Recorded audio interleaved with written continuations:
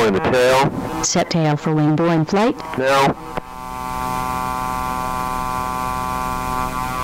Finding the lower target altitude. Mushing to the west. The transition with the tailwind.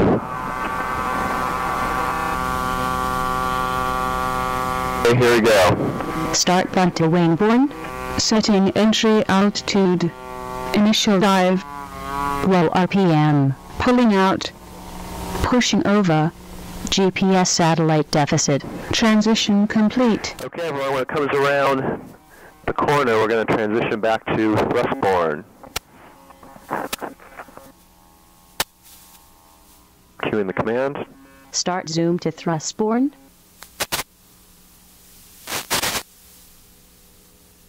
Underspeed. Oh.